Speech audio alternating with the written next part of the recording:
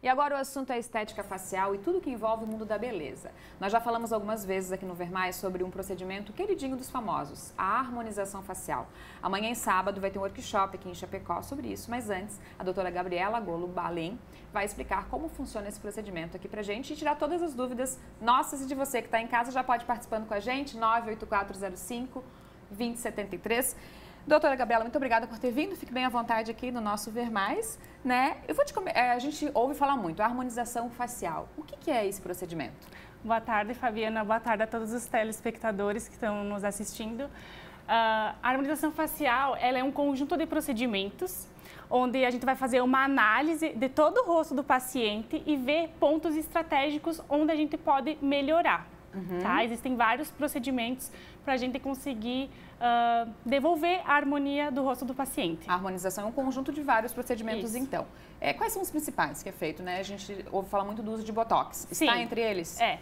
O Botox é o, o mais conhecido, né? Que ele serve para paralisar a musculatura e evitar a formação daqueles vincos profundos na pele. O doutor sempre gosta de utilizar Uh, um exemplo, como se você pegasse uma folha de papel e amassasse. Uhum. Quando você desamassa aquela folha, vai ficar vários vincos, certo? Uhum. Então, o Botox, ele serve para uh, ah, paralisar a musculatura e impedir que a pele fique com, com a formação desses vincos, porque depois para tratar isso fica um pouquinho mais difícil, né? Uhum. Ele serve então como prevenção e aí depois vem outros procedimentos para fazer o tratamento. Uhum.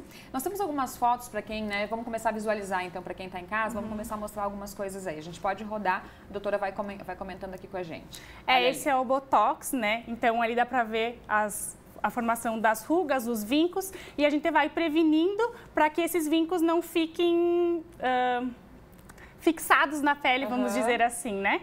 Vai impedir a, a formação deles. Tá certo? Vamos para uma próxima, então.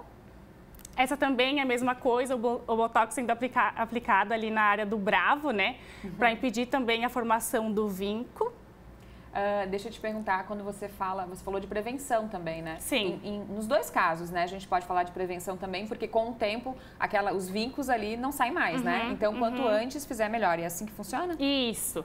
Ele não tem uma idade certa para começar. Uhum. Ele serve como tratamento e como prevenção, igual eu já falei antes. Quando já tem a formação do, dos vincos, aí a gente tem que partir para outros procedimentos, uhum. como o Skin Booster, para promover uma hidratação mais profunda na pele, ou até um bioestimulador de colágeno para conseguir melhorar essa área. Uhum.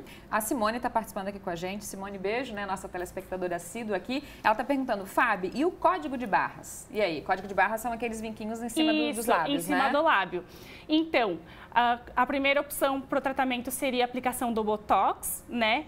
Vendo bem certinho, analisando cada caso. É difícil dizer também, porque a gente tem que avaliar cada paciente, uhum. mas quando daí já tem a formação do vinco, daí pode ser utilizado o ácido hialurônico, né, o preenchimento nessa região para suavizar essas marcas. Tá certo. Doutora Gabriela, tem outras perguntas chegando, a gente também uhum. tem alguns mitos e verdades para fazer daqui a pouco. Vou te pedir para ficar um pouquinho com a gente, pode ser? Tá bom. Fica sentadinha aqui que a gente já conversa mais. O pessoal que está em casa pode participando com a gente, 98405 2073. Faça a sua pergunta, a doutora Gabriela responde daqui a pouquinho.